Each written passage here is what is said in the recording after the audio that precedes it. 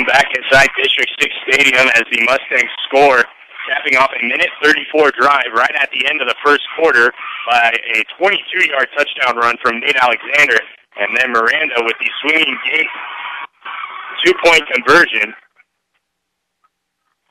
12 minutes on the clock in the second quarter as time expired. That was the last play. The scoring drive, the scoring play was the last play. The clock running, which it should not be. Frick will send away the kick, and it will bounce out of bounds. And if the officials catch what should happen, 11:47 shows on the clock, but it should still be at 12 minutes, as the clock shouldn't have started. But the kick out of bounds will place the ball in good position for Northridge. Northridge on their fourth drive, looking to maybe establish a little bit of uh, what they want to be doing tonight, but so far they haven't had any success passing. Uh, 0 for 2 and one sack, and the rushing game, other than the one run from Fulton, hasn't been there either. Well, so the officials don't catch the clock there as again it runs. Fulton steps back and will fire to the far sideline. As the ball's at the 35-yard line, it will fall incomplete, and it'll be second and 10. Well, you know, sometimes in high school now, when the score gets completely out of hand, uh, the official rule is that the clock runs on a mercy rule. Uh, not trying to say that the Northridge timekeeper is used to that, but uh, this is somewhat different. The I can see where you're going with that, Kevin, as Northridge has given up a ton of points this year. Make no doubts about it. This has been a bad year. Fulton will go under center. He'll hand it off to his running back who comes to this near side, gets across the 36 to the 37, down at the 38-yard line. Stephen Cunningham on the carry. Yeah, they just went around the left side. Got a nice run of four yards, but brings up fourth and or third and six, and Fort Morgan can hold them here and get the ball right back. Oh, a ball resting on this near hash, almost directly in between the 38 and 39 yard line. Northridge will break their huddle. They'll have one man to this near side, two men flex to the far side, and one man in the backfield for Fulton, who's under center and we'll have a whistle. A timeout will be called by Northridge before the play is snapped. This timeout is brought to you by Edwards Wright Price Market and Flowerland, located at 1201 East Platte Avenue in Fort Morgan. Stop by and get what you need to refuel on game days. We'll step aside. 10:43 on the clock. Eight nothing. Mustangs lead. You're listening to Mustang Football on B106 and B106.com. After the timeout, Fulton under center. He'll keep it himself on the option play. Will pitch to this near side. Cunningham again gets the pitch. He'll cross the 40-yard line down to the 42. He'll be short of the first down, and it'll bring up another fourth down for the Grizzlies. Yeah, Alex, it's kind of a strange night uh, here because I did some scouting of Northridge and wrote down who their stars were and who all their stats were. And this Cunningham kid who's gotten the ball three times already, their leading carrier behind the quarterback, had never touched the ball before. I, I do not have him written down either. Graff gets the punt away for Hernandez. This punt will go to the far side. Hernandez waiting on this near hash. And it will roll all the way down to the 25-yard line where the Grizzlies will down it there. And Fort Morgan will take over. First and 10, 9.56 on the clock. 8 to 0 our score here at District 6 Stadium in Greeley. Fort Morgan coming back out. It'd be nice to see them score a couple more and then be able to open up the playbook and try some of the plays that they've wanted to be able to run, but may not have had the right game situation for it. So they'll mark it actually at the 26-yard line. Two men spread wide for Martins, who's under center. Two men in the backfield, but one of them Miranda. Alexander, the deep back. C.CI. This time Alexander will get the pitch. He'll come to this near side. He'll cross the 30, the 35. He'll be ushered out of bounds at the 40-yard line. We'll call that a gain of 14, and it'll be a first down for the Mustangs. Yeah, he came around that right end and had a linebacker chasing him and a corner, cornerback coming in at an angle. And we had one Fort Morgan kid downfield blocking and, and running interference. Very nice. Mustang football brought to you by Platte Valley Hearing Center, 417 Main Street in Fort Morgan, getting your hearing to its very best. The Mustangs and, and the Grizzlies have met three times, and the all-time series is led by the Mustangs two to one. We'll come back to that thought as Martins turns, hands the ball off to Miranda, who chokes through the middle of the line and will get five yards of hard, hard yards that time. And it'll be a second and five. Yeah, Miranda, one of the forces of Fort Morgan's offense past couple of weeks, and that's only his second carry tonight. Back back to the thought. Northridge does lead the all-time series two to one. Or check that, Fort Morgan leads the all-time series two to one, but Northridge has outscored Fort Morgan sixty-nine to fifty-eight. As there's been two two-point wins for Fort Morgan. As Miranda again gets the ball, dives through the middle of the line, he'll pick up four. It'll be oh, they'll give it three, and it'll be a third and two. But last year, Fort Morgan was shut out by Northridge, a 23 to 0 loss at Legion Field. So 69 to 58, Northridge has outscored Fort Morgan in the three games, even though Fort Morgan holds the edge in the all-time series. Third and two, as Alexander has the ball this time, he'll be met right at the line of scrimmage, and he will have no room to run. Get back to the initial line of scrimmage on the third and two play, and that'll bring up a fourth fourth down right at the 48 yard line. To get the first down, they need a 50, the 50. Yeah, with ball midfield, um, I'm not so sure he wants to go for it.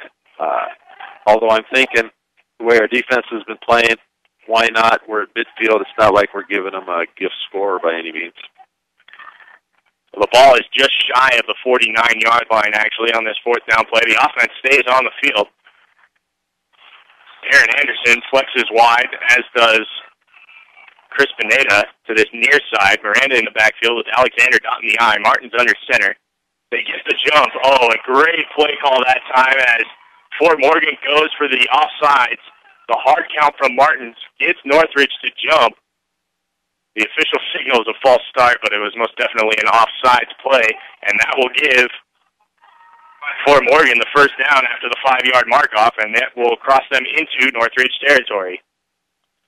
Well-disciplined offensive line and offensive players not uh, jumping with the hard count of their quarterback and tricking Northridge into giving them the five yards. And we will have a timeout on the field here. This timeout brought to you by Edwards Right Price Market and Flowerland, located at 1201 East Platte Avenue in Fort Morgan. Stop by and get what you need to refuel on game days. We'll step aside 8-0 the score with 7.45 remaining in the first half here at District 6 in Greeley. The Mustangs on top. You're listening to Mustang Football on B106 and B106.com. Mustang Football brought to you by Ackley Building Center, your one-stop center for projects around your home, office, or yard. Ackley Building Center, located at 1402 Mill Street in Brush. The Mustangs, after getting the offside penalty from the Grizzlies, who called that timeout to get themselves back to where they need to be mentally. Jeff Fulton, the head coach here at Northridge, and now we'll have an unsportsmanlike conduct penalty coming out of the timeout. Not sure what that was. Didn't see a flag thrown, but the unsportsmanlike conduct penalty moves the ball 15 more yards. And so Fort Morgan facing that fourth and two back inside their own territory, their own 49, now has the football at the 31-yard line of Northridge territory. Yeah, the Northridge coach was chewing on the ear of one of the officials on the sideline. Possibly he was the one that got called for that. Would be my guess. As Alexander gets the ball this time, he'll come off the near side and will be down after crossing the 30, down to the 26-yard line is where they will spot him. It'll be a second and four.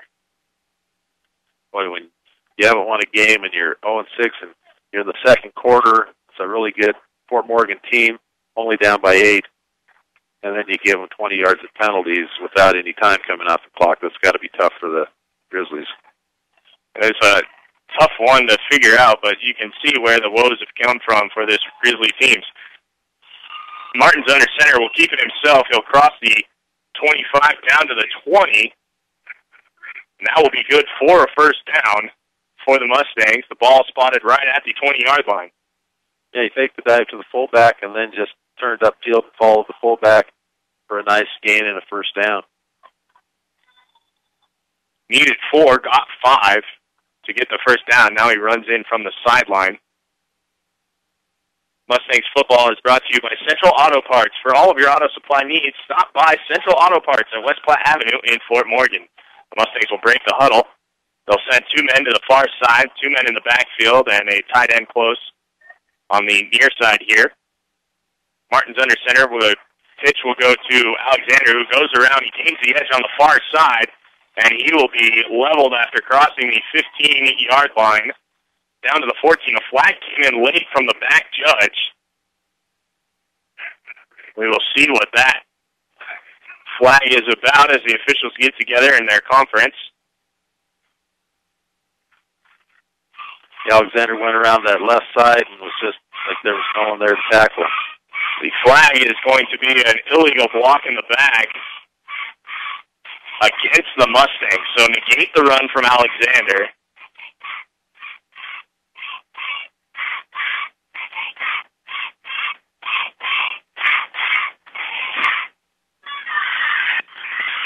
The officials will count off the penalty yardage. And we will have a first and 12 now, as it's from the spot of the foul. First mistake for the Fort Morgan Mustangs tonight.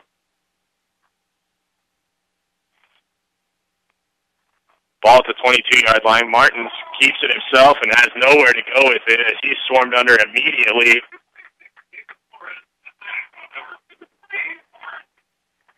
By Eric Ariola. He'll be credited with a sack, and with 5.50 and counting now here in the second quarter, this drive looming large to add to the lead for the Mustangs as they have been moving backwards since getting the gifts in penalties from Northridge.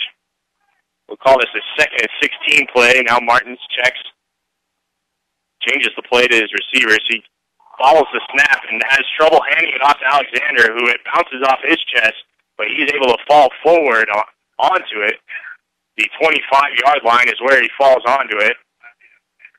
And now it will be a third and 16 after the mishandled handoff. Here's where Fort Morgan's going to have to throw the ball up, and uh, it hasn't been a strong point of their playbook so far. A beautiful harvest moon starting to come up to the northeast. Wow, that is very orange in its color. That's a great look the view we have here from the press box at District 6. Martins fakes the handoff, and now he's looking to pass. He's got a man downfield, and if the pass will be broken up, defended there for Northridge. Jacob Labato. Fort Morgan's 0 and 3 uh, passing tonight, but there's some officials' laundry out there. Two yellow flags. Well, it looks like they're conferring with the Northridge sideline to see what they want to do. We have a hold, which will be declined, and that will bring up the fourth down play. This is an odd spot for any high school team, really, with the the kicker. This is, would be an incredibly long field goal to attempt, but it's incredibly hard to get the 16 yards that you need on the fourth down play. So the Mustangs will go for it. Martins drops back to pass. He has a man open down the middle. He elects to go to the sideline where the pass is caught and into the end zone for the touchdown as Martins connects for the touchdown with Michael Fitzsimmons.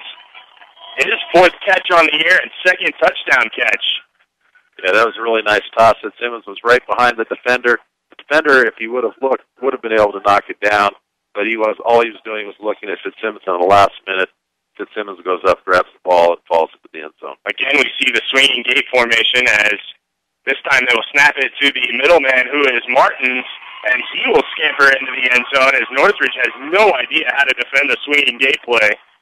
A little bit of old school trickery from Harrison Chisholm and the Mustangs as the score moves now to 16 to nothing. The Mustangs on top with 4:28 remaining here in the first half. We'll step aside.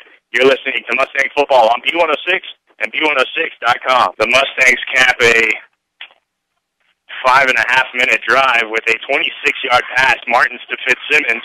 Martins tacks on the two point conversion and they lead now 16-0. Frick approaches the ball at the 40 yard line. Will kick it away and it'll be fielded at the 11 yard line. Again, we see the trick coming from Northridge as the man who has it goes to the far sideline. He'll be drugged down as he gets to the 44 yard line. So just like Northridge can't defend the swinging gate play from Fort Morgan, Fort Morgan has no idea how to defend the kickoff return play out of Northridge. And this is the second time that Northridge will have really good field position starting a drive. Yeah, that's kind of strange because Fort Morgan at the beginning of the season, first couple games, that's the play that they ran every time the ball's kicked to them. The old whoever gets the ball turns around and has several people go by him. You think in practice that they practice to get that against that. We'll see Fulton go back to work for Northridge as he's under center. He'll bring his man in motion. That's Blake Carlin, one of the receivers. The give will go no. He'll fake it and take the option to this near side. He gets away from a few Morgan tacklers, and he'll be tripped up finally as he gets down to the 31-yard line. A big gain that time for Robert Fulton as he's able to get the first down. Yeah, that was a beautiful run. He broke a couple tackles. Fort Morgan kind of trying to arm tackle him. They need to wrap up. Northridge gets back in this with a touchdown and a defensive stand. 26 yard gain that time for Fulton on the ground as they're able to break into Fort Morgan territory are the Grizzlies.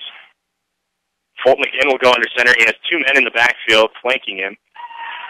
He's looking to pass. He'll throw to that far side. Uh, the pass will be caught. Jordan Francis he will have the catch with a gain of two, and it'll be a second and eight.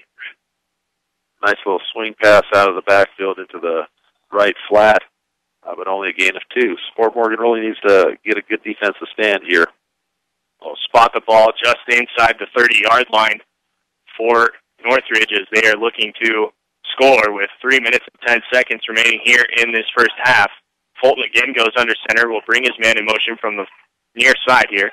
This time the kid will go, and now he fumbles the football as he tries to pitch, run the option play, but it was disrupted that time.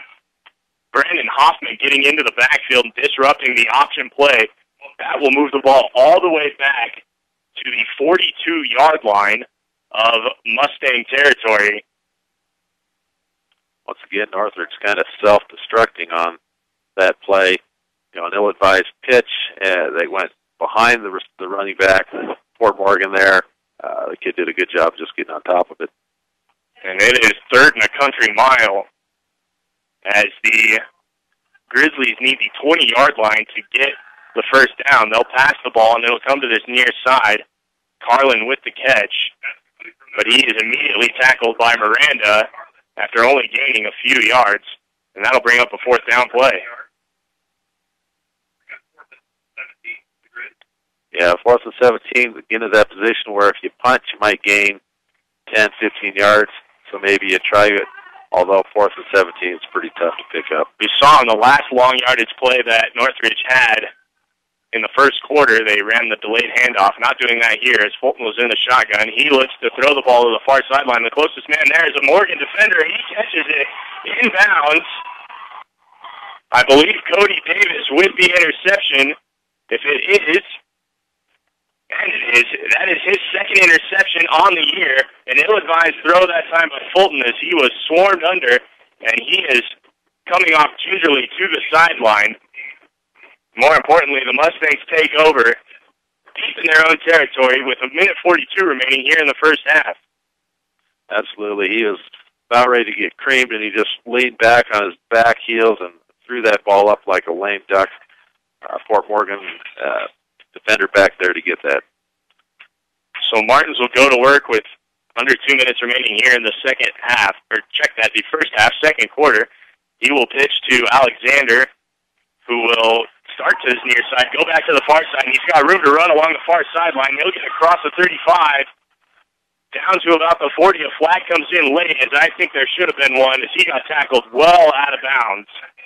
Yeah, that was a big hit. Carried him quite a ways out of bounds. From this vantage point, I couldn't see whether it was out of bounds or not, but uh, obviously the official was right there to make the call.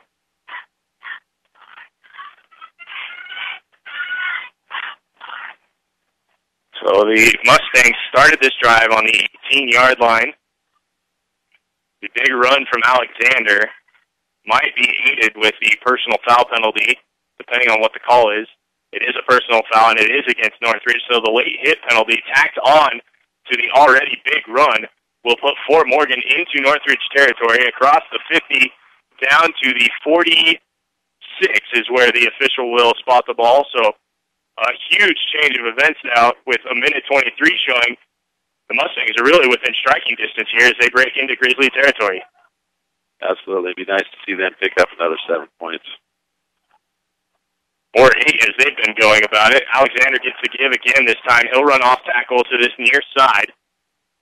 He'll cross the 45, be down to the 42-yard line. Yeah, with a minute seven left, I think Fort Morgan's going to have to either use their timeouts or go to the air. The clock dips under a minute now, and Fort Morgan not really looking to rush things here. Still having all three of their timeouts. All spotted at the 42. The give goes to Miranda, who goes in through the middle of the line, will pick up a couple yards. And now Fort Morgan will call their first timeout as they're faced with a third and three. 41 seconds on the clock. The Mustangs lead 16-0. We'll keep it here through the timeout. Yeah, Fort Morgan probably huddling, trying to come up with a strategy, maybe get two plays called here so that if they do get the first down, they can rush up and be ready to go right after uh, the, the clock starts. Yeah, the clock will stop if they get the first down here. So two plays called, you can run two plays essentially before you have to burn another timeout because you will be on the ball by the time, in theory, you'll be on the ball by the time the clock has started again after the first down. Mustang Football is brought to you by Morgan Federal Bank, your one-stop shop for all of your banking and investment needs, from checking to savings to IRAs. 321 Ensign Street, Morgan Federal Bank. There's a difference. Member FDIC, equal housing lender. Third and three now, the ball spotted at the 39-yard line. Martins under center. He has a man split each direction. Alexander will get the get in. No, they'll run the reverses. Fitzsimmons gets it. Check that to Schneider, who has it, but a flag is down. He's got a lot of room to run. He gets to the 10 where he'll be brought down inside the 10-yard line, but we have a flag well back at the line of scrimmage. My guess is an illegal block or a hold. Again, another illegal block by Fort Morgan will bring the football all the way back. So negate the big play there, as that would have put Fort Morgan in great position to add points before the half. Absolutely. Uh, Christian Mraz, the senior offensive lineman, came back into the backfield and tried to get a block that sprung him. I'm not sure that that block was critical, but it turns out to be critical because it was an illegal block and cost Fort Morgan a ton of yards. So Fort Morgan will go all the way back to their own territory. The 49-yard line is where the ball will be spotted. It'll still be third down, but instead of the third and three that was manageable, it'll be third and 15, and the clock runs.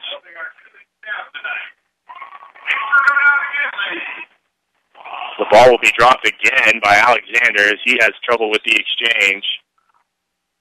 And I think Fort Morgan will be content to just let the clock run down here and go into halftime ahead 16-0. Five seconds on the clock, and that looks like what is going to happen. So at the end of the first half, Fort Morgan leads 16-0 here at District 6 Stadium over the Northridge Grizzlies. What a squandering of a good opportunity to have that penalty, and then I don't know why Chisholm didn't notice the clock was running but uh, quite a bit of time just ran away. So when we come back, we'll go through halftime. We'll have stats and analysis here from the first half. as the Mustangs lead 16-0 over Northridge. You're listening to Mustang Football on B106 and B106.com.